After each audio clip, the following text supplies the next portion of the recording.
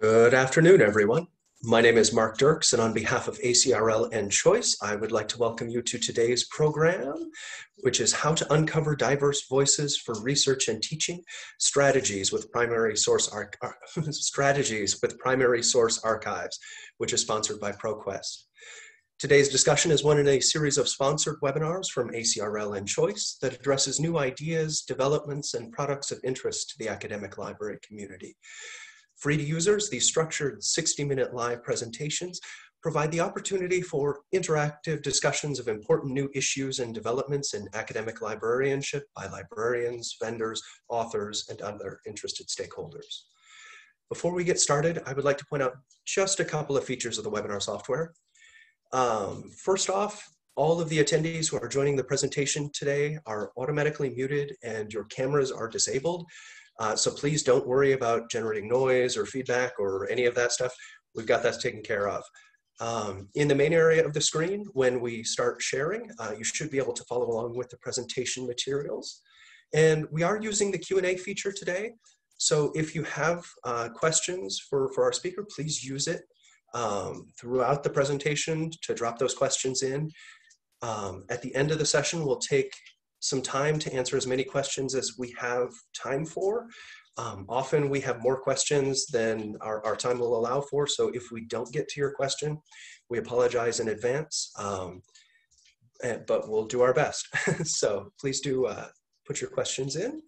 And also note that we are recording today's program and that everyone who re registered should receive a follow-up email with a link to the archived version. Today, our speaker is uh, Marcia Chatelain, Professor of History and African American Studies at Georgetown University. Dr. Chatelain teaches about women's and girls' history as well as Black capitalism.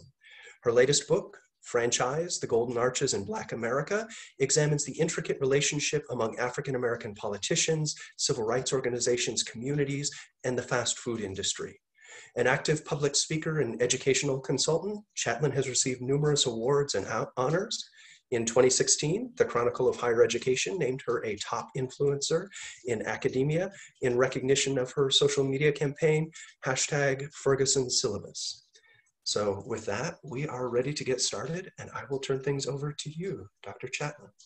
Thank you so much, Mark. And thank you, um, ProQuest, for inviting me to talk about my research and the links between um, two seemingly disparate projects. And as someone who came into the historical profession um, at a time when emerging scholars were just stepping into the world of digital archives, just stepping into thinking about the ways that we share um, uh, information via different platforms, I think that I have really benefited from a lot of the innovations that organizations like ProQuest have led in making um, primary source documents available to more and more people.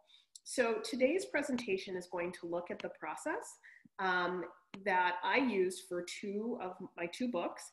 And then I'd love to have a conversation with um, the folks in the webinar about kind of research challenges that you may have faced. So at this time, I'm going to share my screen and start my presentation and we can go from there. So my introduction um, to the study of history came through um, examinations of Black women's history. And for those of you who are unfamiliar with how Black women's history emerged um, within the field of history, is that Black women's history is very much a reflection of changes in academia as well as articulations of social movements impact in academia in the 1970s. And so beginning in the late 70s and early 1980s, um, there were more and more um, books written about Black women's experience and taking very seriously the ways that gender and race interacted.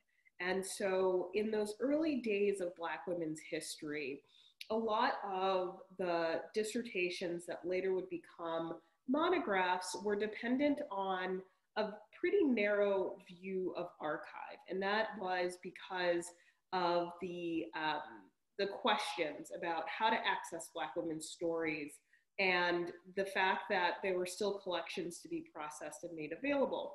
So in a lot of those early pieces, um, you see histories of people like Ida B. Wells Barnett, who left behind her Memphis diaries, as well as other um, signs of her prolific work in anti lynching as well as suffrage because she was a woman of prominence. Another woman who appears in my first book, um, Southside Girls, Amanda Smith, was a leading figure in the African Methodist and Episcopal Church. And so women like Amanda Smith, um, women like Ida B. Wells Barnett, they were often the focus of this early work.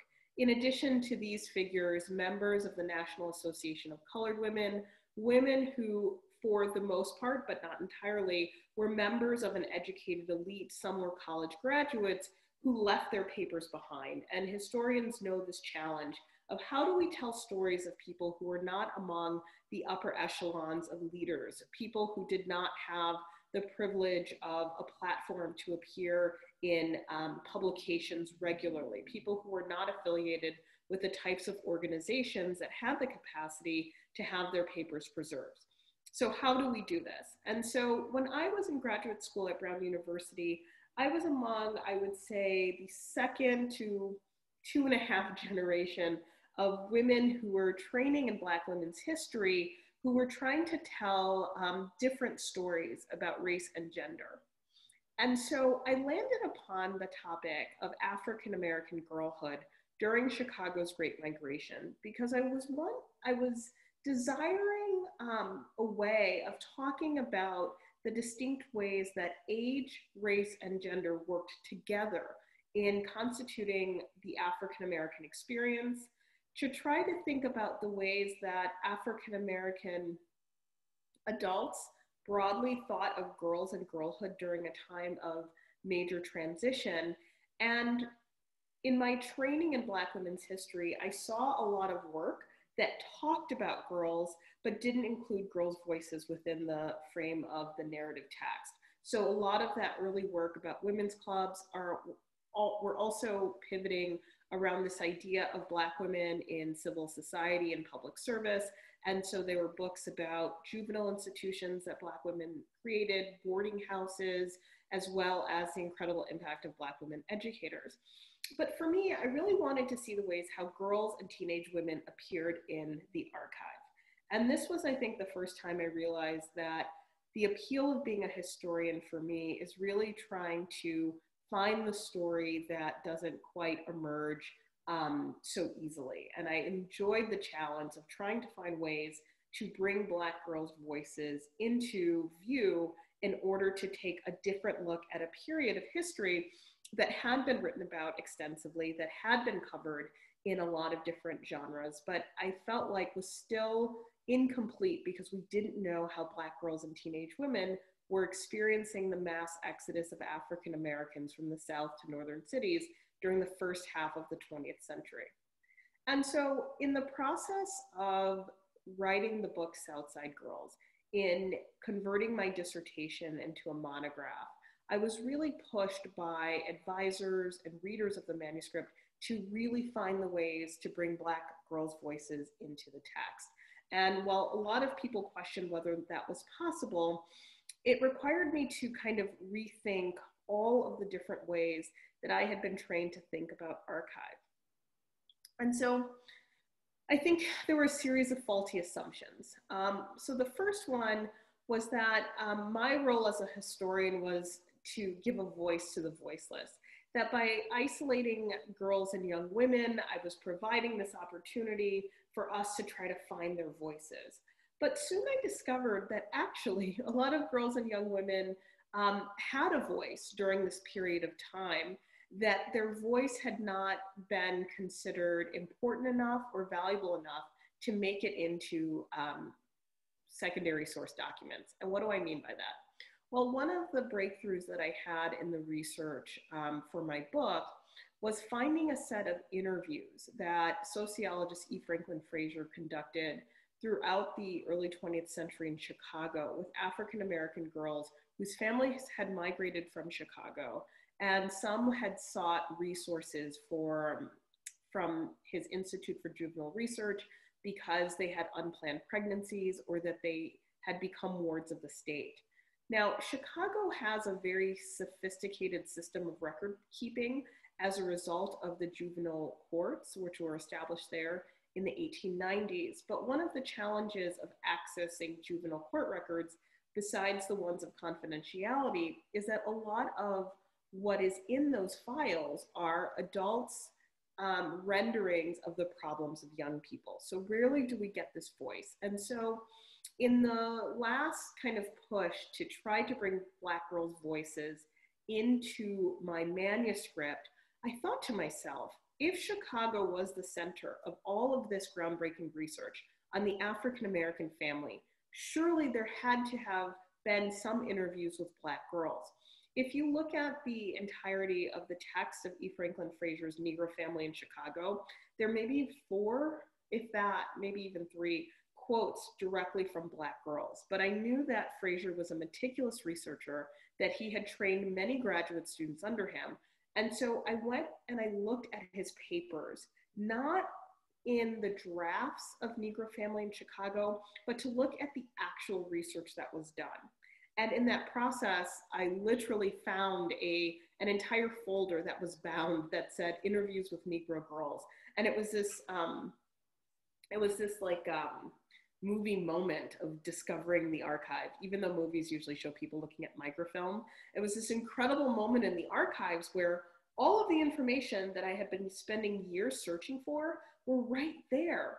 But I think that it was illustrative of the ways that scholars often assume archives um, are comprised of the things that are most cited. And so we have finding aids, but we know that finding aids are always um, subject to a little bit of confusion. Um, there are a number of collections that need updated finding aids, but when I was looking at these incredible interviews um, that Frazier was engaging with, with girls who were 12, 13, 14, 15 years old, talking about what they felt about their parents, talking about their relationships at school, talking about sex and dating and their impressions of Chicago and their memories of the South, what I realized was that I had thought that this was going to be some um, kind of gymnastics like process in trying to get those voices out, but those voices were there. But what was absent was an academic framework that validated those voices and actually pushed them through to research. And so um, I think that the lesson there is you have to go to the archive. And the finding aid is sometimes um, an obstruction because you have to actually look at the documents to understand uh, what's there and what the finding aid can't capture. Um, the other faulty assumption that I was making as an emerging scholar was that, that I was the only smart thinker in the world. And that's kind of in jest. But what that meant was what I had lost sight of was the importance of um, dissertations and master's degree theses for my research. And so I had been trained to read the book first, look at the citations, and then go to WorldCat or whichever um, kind of archival, um, you know, disaggregator that you go to, and then look for the papers. But one of the things that had occurred to me while I was working on Southside Girls was that a lot of the questions about African Americans and girlhood were not questions that I had simply come up with in the early 2000s. That these were enduring questions that was that were framing um, how people talked about race, how people talked about public policy, questions about segregation and contested spaces in Chicago, and that if I, as a graduate student, was thinking about this, surely other graduate students in generations past had asked this. And the University of Chicago was one of um, the handful of elite institutions that had actually admitted African Americans and admitted women um, in graduate programs in the early 20th century. And so I started looking at the dissertations that came out of the University of Chicago as another type of primary source. And so I think that when I was in graduate school, we were often advised to look at other dissertations um, in order to think about the framing of how our peers during a particular period of time thought about questions. But within the context of the types of dissertations that were being written at the University of Chicago in sociology and urban ecology and social work, there were a treasure trove of, again, interviews and transcripts of the types of conversations that African American girls were having with people who were um, involved in the emerging uh, discipline of social work about their private experiences about schooling and family and sex and relationships. And that became an incredible source for me to find girls in places that we don't traditionally send our graduate student trainees, in my, in my case, to the archive. Um, the other faulty assumption that I think was so important for, um, for me and other people who have taken seriously the history of um, childhood and youth is that we started to think about children's organizations um, not in terms of places in which leisure activity happens, but places in which policy and um, contentions about space and ideas about the family, ideas about gender can also emerge. And so, in thinking about the ways that African American girls created a social life, created a life of leisure outside of the context of their families, sources like um, the Girl Scouts of Chicago, sources like the Chicago Community Trust became incredibly helpful in thinking about race relations. And again, um, a lot of the research that I had seen about some of these um, organizations like the settlement house movement that we associated with Jane Addams, a lot of these spaces I thought of as mo- monoethnic or monocultural because they were designed for particular immigrant groups or they served in particular communities. But one of the things that I had to understand is that at the point in which there's this mass migration of African Americans, there's a lot of anxiety about how children are going to contend with this change in racial demographic. And while some of these organizations excluded or segregated African Americans, it didn't mean that they weren't engaged in conversations about them. And so, looking at children's organizations and the ways that they were challenged um, by the color line or accommodated the color line was also a helpful way for me to get those voices out. Um, some of the most amazing research um, that I found for my book came from the notes of camp counselors who were part of an experiment in seeing if Black and white children can go to camp together. And so while that source, again, would never be within the frame of African American history, it would not be considered one of the um, Black studies resources of the Chicago History Museum, it spoke volumes about the ways that race was understood, not only by African American girls, but those around them. And so thinking about the spaces in which contestations can happen can also help you bring some voices that um, you don't automatically think of as part of a set of experiences or organizations. Um, and one of the things I think um, intellectually I had to really think about as a scholar is that when we think about contributions, when we think about what is meritorious about a legacy. We often think about um, it in very kind of narrow terms. So we think of either the first person to do something, a person who invented something, or a person who was um, elevated as a great leader. But when you write the history of children, particularly African American children, particularly African American girls, you have to rethink what a contribution is. And for me, what I discovered in the process of writing Southside Girls, a contribution is giving voice to a set of problems. A contribution means that you appear outside of the roles that you are confined by or consigned to, and you speak out. And so, in thinking about the use of Black girls' experiences for the purpose of this book, um, using the kind of ProQuest um, historical newspapers, looking at the Black Studies Center that um, ProQuest provides with the Schomburg Library, looking at articles like this with the headline, Girls in YW Drive Tell of Their Hardships, I started to really value what that meant. That it wasn't just about some girls talking about the problems of racism and sexism, it is a contribution to our ability to not only understand this period of time, but modes of learning. And I think that the fact that the Black press included so many different um, events. I mean, look at this uh, page of text.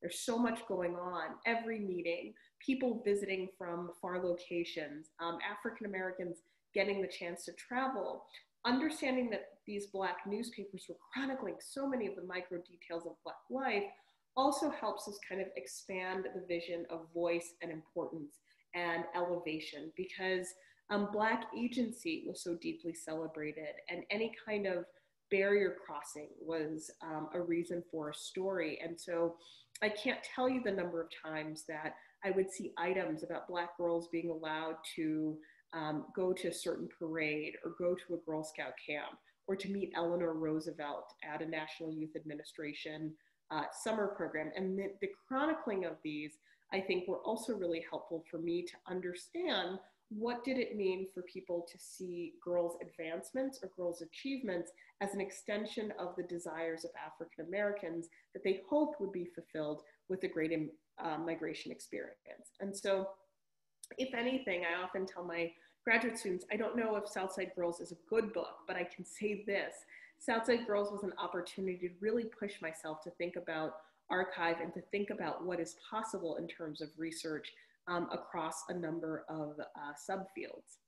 And one of the greatest things about being a historian is that it's not just about starting conversations, because I think rarely do we start a conversation that has never been had, but we can intervene in conversations. And so I am very proud to have um, had Southside Girls come out around a time period in which scholars across various disciplines were asking questions about how do we understand African American girlhood. Um, historical books like Crescent City Girls by LaKisha Michelle Simmons, who's at University of Michigan, looks at Black girls in New Orleans. Shapeshifters by um, uh, Aimee Meredith Cox, who's at Yale, that looks at from an anthropological perspective, Black girls in a dance program in Detroit and Nazera Sadiq Wright of the University of Kentucky, who's looking at Black girlhood's representation in literary culture. And the numbers of history publications and journals that were looking at this question about the possibility of making Black girlhood studies something that can create a new framework for understanding, again, these intersections of race, gender, and age has been so exciting. And so we do the work of bringing the voices in, not just for the sake of saying that we did it, but we see um, the ways that this research can animate how people in the present, excuse me, will be more perceptive and more um, thoughtful in bringing the stories of Black girls um, into the frame in various institutional contexts. And it's so exciting the ways that um, Southside Girls has helped uh, create a series of walking tours in Chicago about um, Black women's Chicago. Um, Southside Girls, among other publications, were included in a report recently done by Georgetown University's Law Center about the crisis of Black girls in suspensions in schools. And so there's a lot of ways in which um, showing um, that this research is deeply grounded can then uh, create all sorts of possibilities in the present. And so now I want to transition to my most recent book, uh, Franchise, The Golden Arches in Black America. And this archival challenge was a little bit different. Um, I wanted to explore this idea of how McDonald's became Black. And while we know that McDonald's is consumed all over the world, there is a distinct way in which McDonald's has intersected with African American institutions and peoples that was that has been a source of curiosity for me for a very long time as someone who also studies um, food history. And so the first question I always get when I talk about this book is people say, well, did McDonald's open up their archive to you? And the answer is no, McDonald's did not open up its archive to me. McDonald's does have a full-time archivist and it has its own collections, but it was not available to me. And for people who um, do business history, this can always seem like a set of challenges. What happens when institutional papers aren't available? What does it mean when you are granted access to an institution's papers in terms of your relationship with that institution? And so I was incredibly excited, having felt very, um, uh, having learned so much from the challenge of Southside Girls to jump into the story of McDonald's.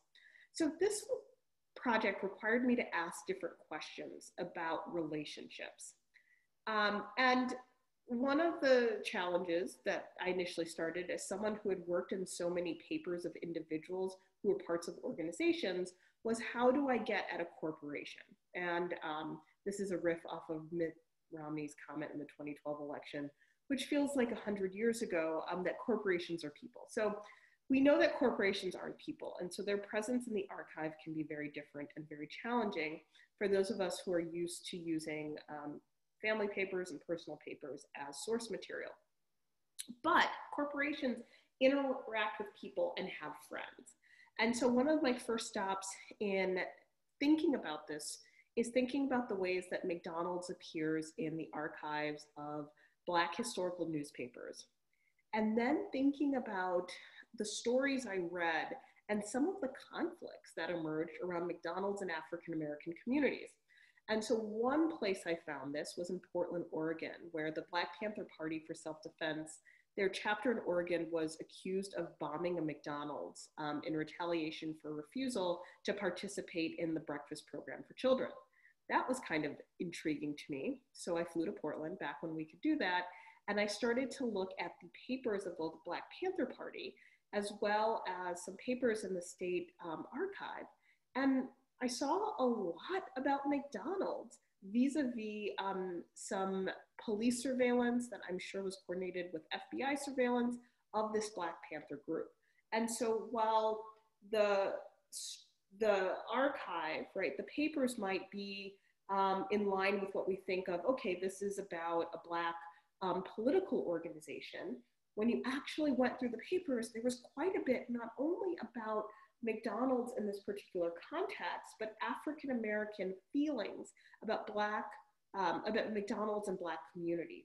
And there was evidence that this uh, chapter of the party in protesting McDonald's was also engaged in conversations with other Black organizations that were questioning the appropriateness of McDonald's in their communities. Um, as I read the stories um, from the Black uh, Study Center and all the newspaper coverage of McDonald's, I also saw a lot of stories in which um, McDonald's Black franchise owners were getting into conflicts with McDonald's corporate about access to franchising. And this is something that resonates today in light of a recent lawsuit on, on the part of 52 franchise owners against McDonald's for racial discrimination. And I noticed the names of Black mayors would often appear in these stories. So I took a plane to Los Angeles and I realized that Black mayors, particularly those that were elected in the late 60s, in the 1980s, and the early 1990s, had to often run on a pro business platform, even if they were part of a generation of radical, anti corporate, kind of anti capitalists. When they were running for office, they were often talking about being um, pro business and open to Black owned business. And within that frame, there is so much about McDonald's. Um, McDonald's representatives meeting with these mayors, the mayors getting in the middle of these conversations.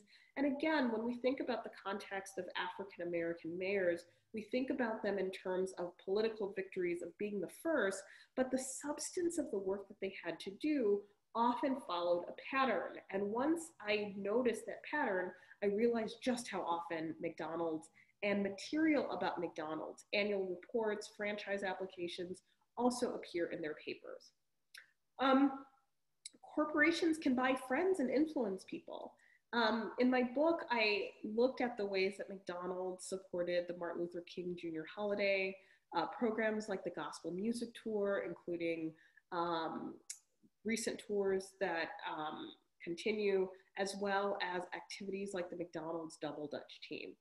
And in thinking about the different ways corporate sponsorship has also facilitated this re- relationship, I was able to look at the papers of the Martin Luther King Jr. Um, Holiday Commission and finding the corporation. So here is a story where I'm telling a corporate story, but by putting African Americans at the center of it, I'm able to get that story without having to deal with the um, the limited access to McDonald's corporate archives.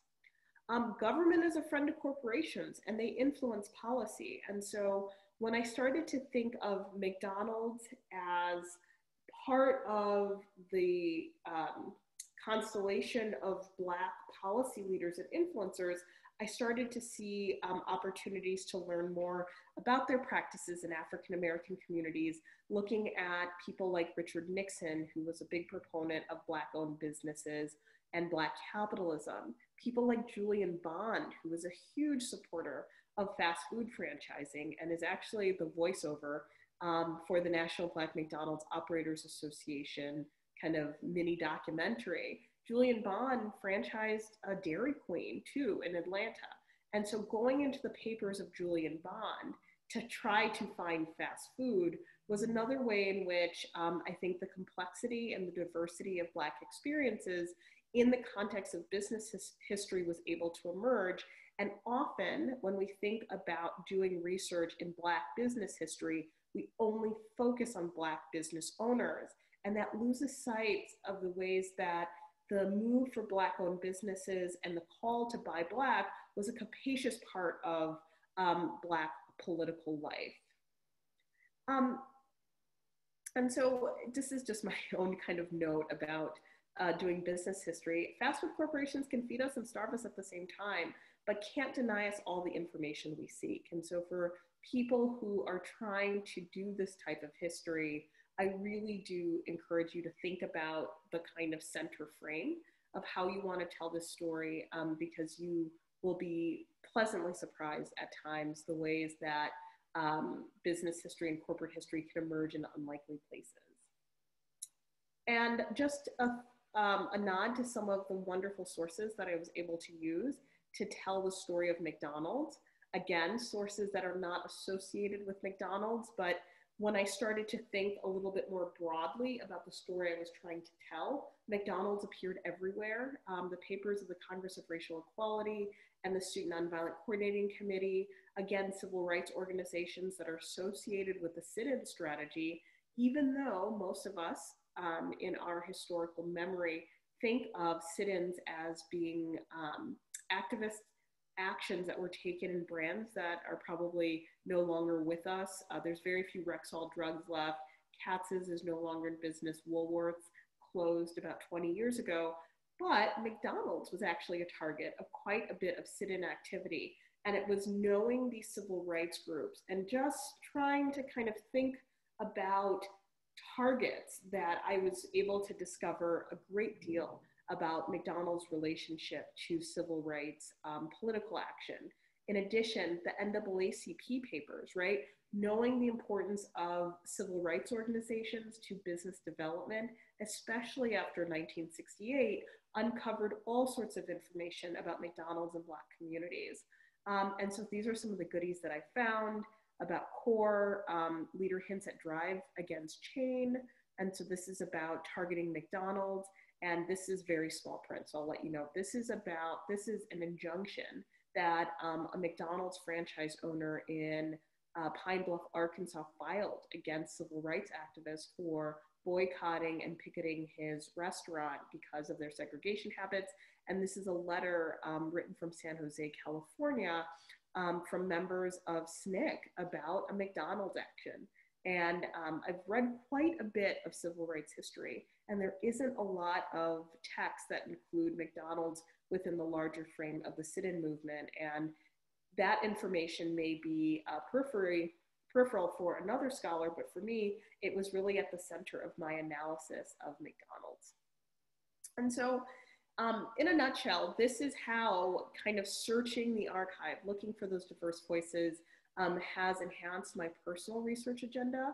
I'm going to show you two um, research assign or two classroom assignments that I've done with students about archives to help them understand how we um, find voices. And then I would love to open it up for questions um, from the audience.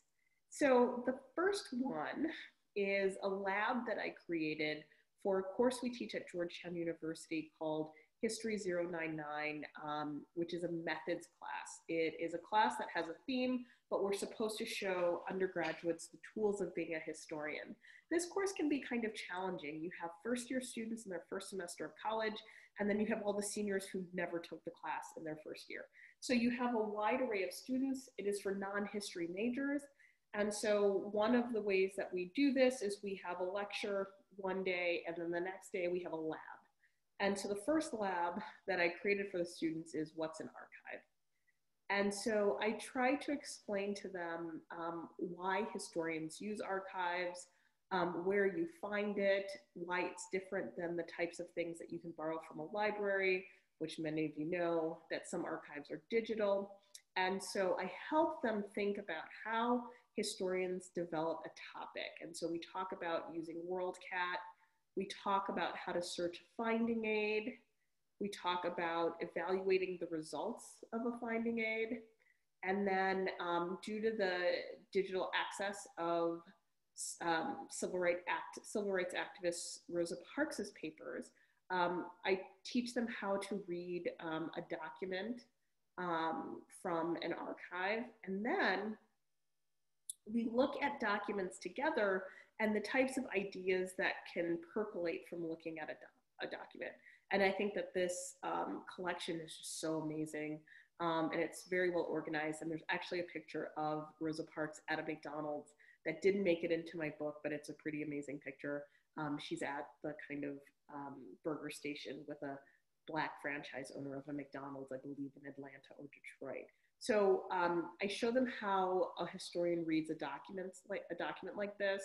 And so this one would say, um, this one would lead me to wonder about perceptions of Rosa Parks after the 1950s, um, kind of what I can glean from the details of a document. Um, and then there is an address, so kind of ask myself, where is that? And the businesses that sponsor this event, you know, what are the significance of these businesses? And then I teach students how to cross-reference um, using ProQuest newspapers. Um, and we put in the address. I did this live in class and I just prayed that it worked and it did. And it shows some supplementary material about that particular flyer. And then I look at the quotes from the article at that time. I look at the different kind of information that these articles give me. And then um, how to develop historical insight from what you find in the archive. And students at various levels can really appreciate this. I do a version of this with um, a piece of long form journalism. There was an article that was written by um, um, Josh Levin um, in the lead up to his book that came out two years ago um, called um, about the, the origins of the myth of the welfare queen, about uh, Linda Taylor, and it was a long form article that had been reported in Slate. And I had them read the article, and then we went through the different places where you would get the kinds of information that's reported in a long form article so that they understand that the use of primary source documents, the use of databases, the use of archive isn't just for historians, that writers in various contexts, that people in business sometimes use these um, materials as well to try to help them understand that these are documents and these are opportunities for everyone to gain greater insight. Um, the second project that I like to do with students is about film. So we do a project where we annotate the movie Selma and um, we watch the entire movie and then I show them clips of the film and then I compare it to real life and I say, if you were going to fictionalize the story of Selma? What are the historical documents and um, archives that are available to you for you to write a kind of script? And so, um, in thinking about the portrayal of Dr. Martin Luther King and Coretta Scott King's marriage, I point them to Stanford University's um, King Institute and this Valentine, which is um, incredibly heady Valentine that Martin Luther King sent his wife. Um, I talk about the ways that um, the film Selma does not have a direct, um, does not quote Martin Luther King directly. And we talk about issues of um, permission and reproduction in terms of uh, sources. And so I show this uh, clip where Dr. King is accepting the Nobel Prize in 1964. And I explain to them that the speech that is given in the film is not the real speech. And we look at the difference. This is the actual speech. Um, I talk about the Birmingham church bombing, which is a feature in the film, and um, about the use of um, the National Park Services and these National Historic Sites as another way in which we can get historical information. Um, we talk about voter suppression, how it's represented again in the film, and um, this links to um, the SNCC papers and information about voter suppression in Mississippi. Um, I explained to them how you know what a president talked to about with someone in the White House, and I show them um, the LBJ recordings from the LBJ Presidential Library. Um, I look at character studies like Diane Nash, who's played by Tessa Thompson in the film. And then we look at fashion libraries and we talk about material culture archives and the importance of um, those types of libraries in not only set design, but also in preservation of textiles and materials. And then we talk about J. Edgar Hoover and the FBI files on Martin Luther King Jr., among other activists.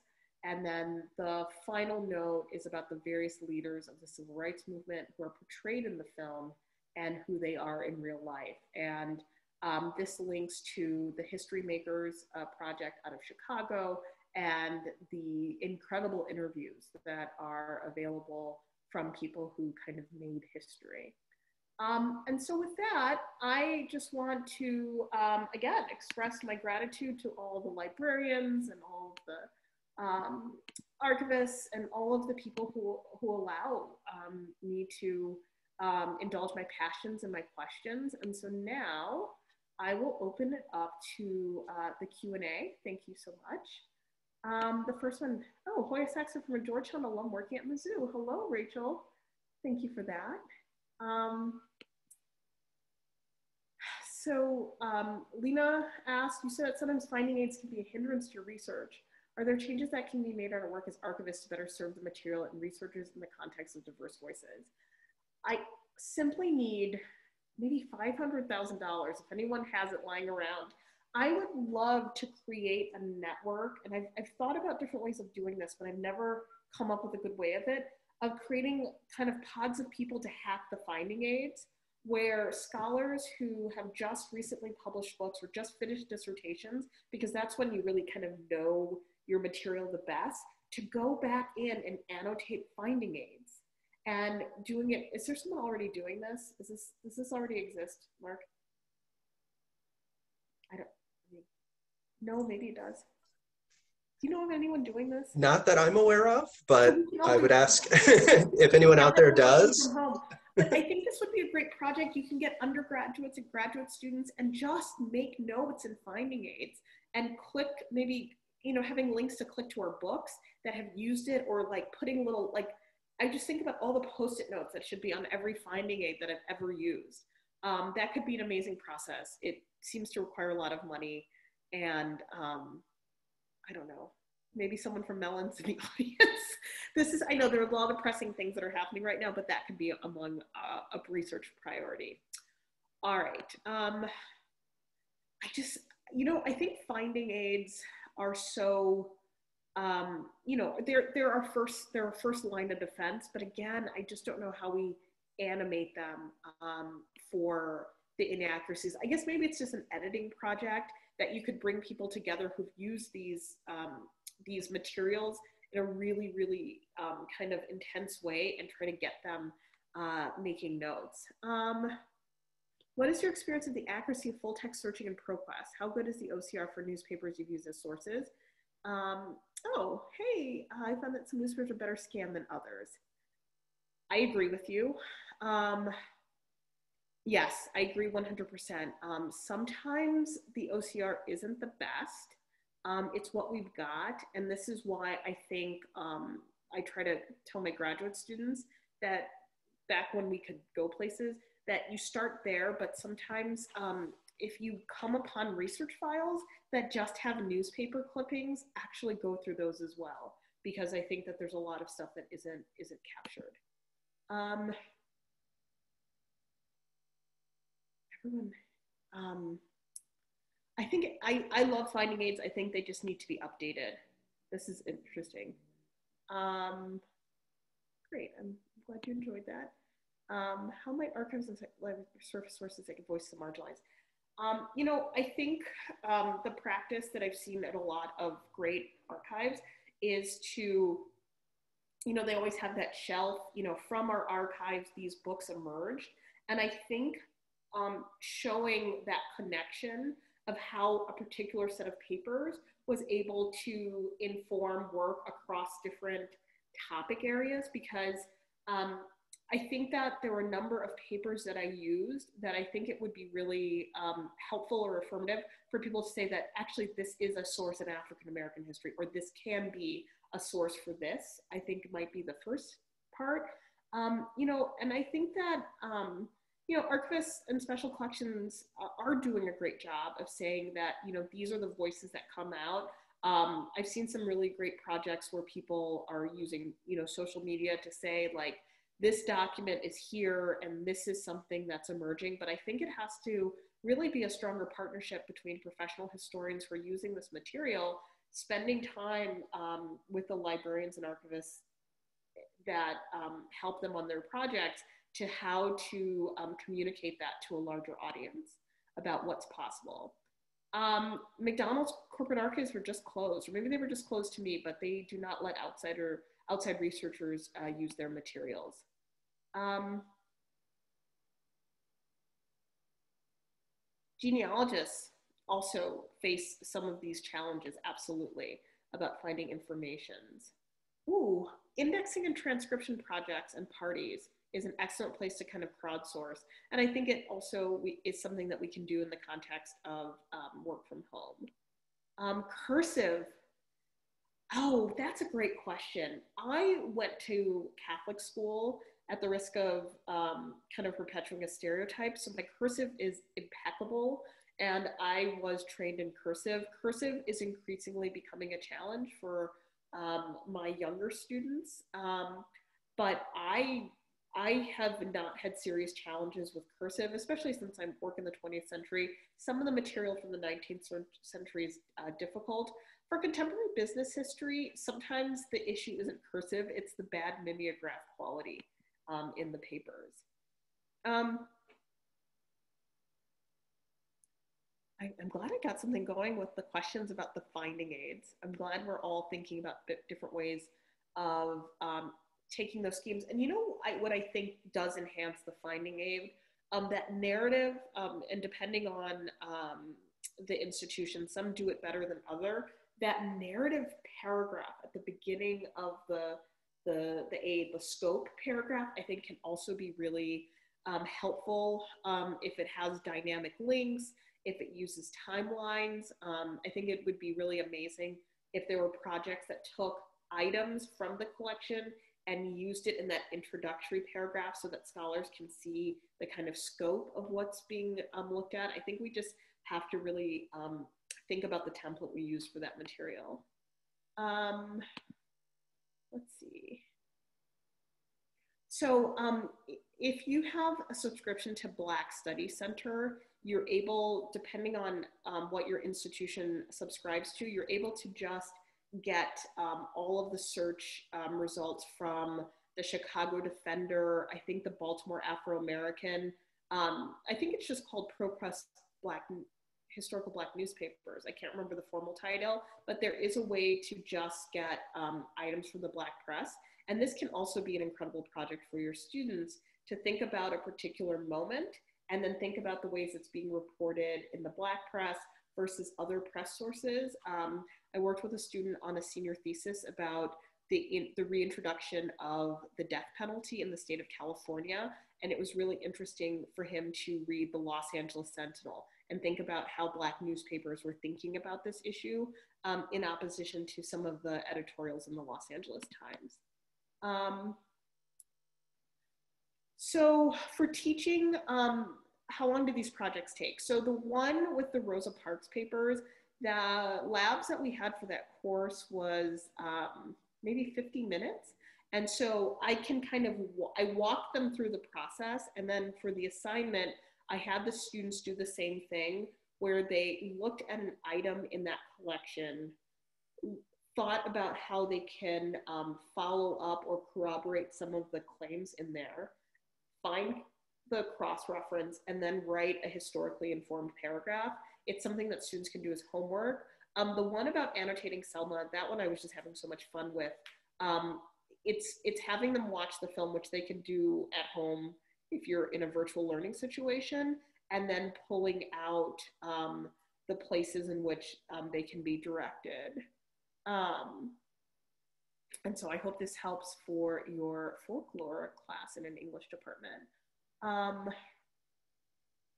yes, so this is really important. So, you know, graduate student careers that lead to library and information resources, working in archives, getting their foot in the door about collections, because collections are also political. The assessment of what's of value and what's not of value is so important for institutions, and making sure that our graduate students are trained um, in a way to understand the complexity and the diversity of the nation's history to make a decision about where to invest, I think is, is key. Um, do I ever use HathiTrust for massive full text searching? I have, I don't have strong opinions about it. Hi, Sandy. Um,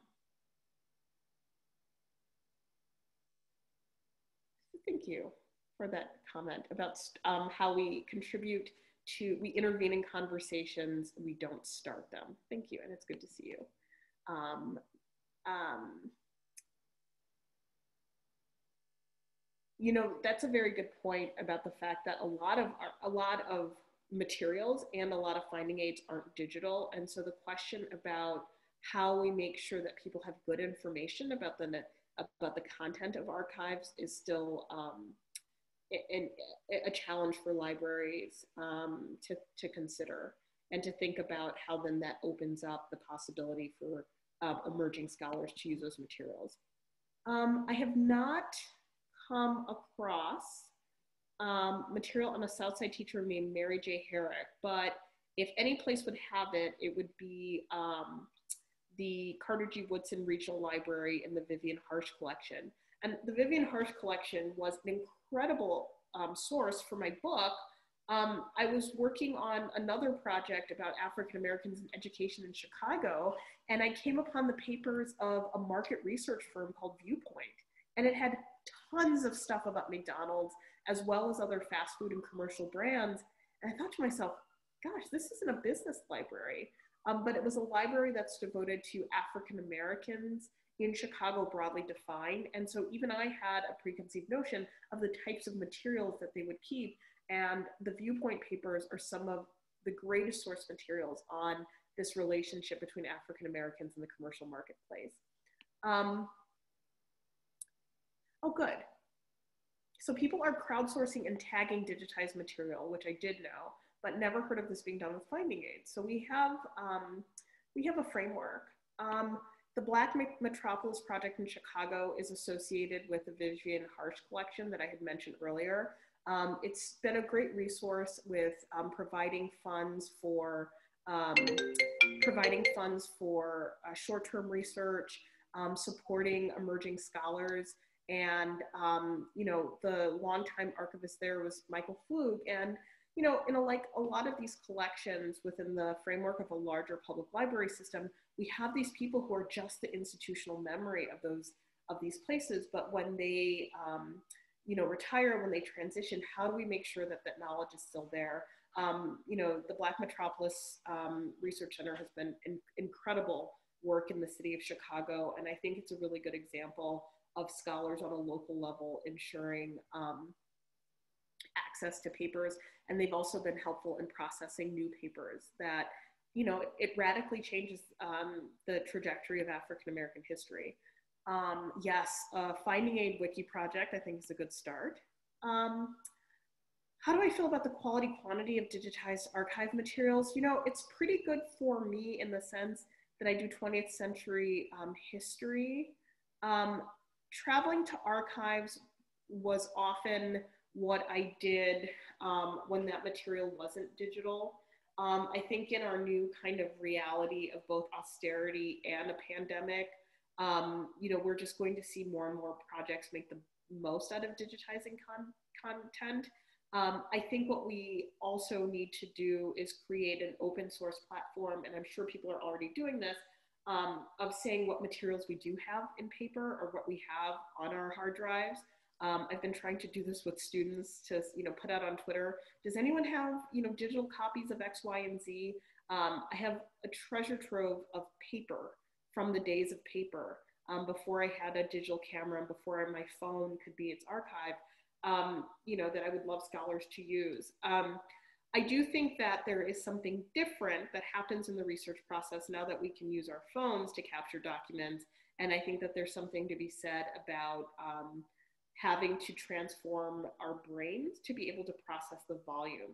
The volume of material that I collected for this last book is maybe three or four times the first book. Um, I don't know if that's necessarily a reflection of that much more research going into the second book, but it was the capacity to just snap pictures. And so now that I have all of these materials available, I hope that scholars can start exchanging them um, while we're trying to work from home. Um, if an archivist could visit your History 99 class for one session, what would you want them to share with your students? Um, I think that I would want students to understand that um, the, I often liken this, being a historian to my students to this, and this might not be the best way of putting it, but I often talk about how um, being a historian is the equivalent of being on Twitter and seeing that people are joking about something but not knowing what the original joke is. And the time you spend kind of unraveling the ball of yarn to get to its origins, there's a strange burst of accomplishment where you figured out what everyone's talking about. That's how I feel when I step into an archive. Um, and I want students to understand that there is a sense of satisfaction of kind of solving it. I think of it more like a riddle or a detective work, right? They're a set of things that um, are incomplete within an archive, and they they they are the beginning of a process, but they aren't necessarily an end. And the way that our creative mind can be activated by the possibility of trying to trying to fit something within um, within a place and a time is really really fun and super rewarding. Um, someone is looking for information, folks, on the Black horticulturist that was hired by the University of Missouri in the 1870s and 80s. His name was Henry Kirkland. Um, if anyone has any information, please contact me to share this information. Henry Kirkland, a Black horticulturist. Um, this is an interesting puzzle. Um, you know, when I, there are a lot of African American newspapers that are not full text um, digital. That's why clipping, newspaper clipping files, I still think are really helpful to look at. Um, part of my research brought, brought me to Emory's, um, Emory Library, Emory University's Rose Library, and they have extensive holdings on the Southern Christian Leadership Conference and civil rights organizations in Atlanta. And even though I had tons from the Black press that came out of Atlanta. I was in those clipping files looking at every single one, and you can't beat that um, because there's no question and there's no messiness with the digital process. Um, some people who've been working on this issue, Michelle Caswell, Tom Hyry, and Michelle Light, um, have explored ways to integrate feedback into finding aids and catalog records. Excellent. Um, can you imagine ways from your experience that historians might work with archives to crowdsource richer finding aids? Again, I think um, maybe this can become a feature of collections websites, some um, site that it leads you to where people are actively engaging in these questions. Um, someone mentioned that there are some good Wikidata archival projects that are happening right now and using flexible tools to work through metadata using all kinds of link. We have one minute left, so I'm going to stop the questions there. But I was able to talk to a good chunk of you. Thank you so much um, for all of these great um, these great questions. And yes, we have to be so careful about crowdsourced anything. But I think uh, when we engage together, um, you know, we I think we just do better in our practice. Thanks, folks. Great. And, and thank you, Dr. Chatelain, um, for taking so many questions. And um, and just rolling right through them there at the end and for the presentation and for your research. Um, I would just say before we take off today, um, thank you to those of you out there listening in as well. Um, we hope to see you on another webinar in the near future. And if you have a little bit of time when you sign off, we have a, just a brief survey um, that we would love a little bit of feedback um, on. And so once again, thank you all you out there listening in and, and thank you, Dr. Chatelain. We really appreciate the presentation. Thank you.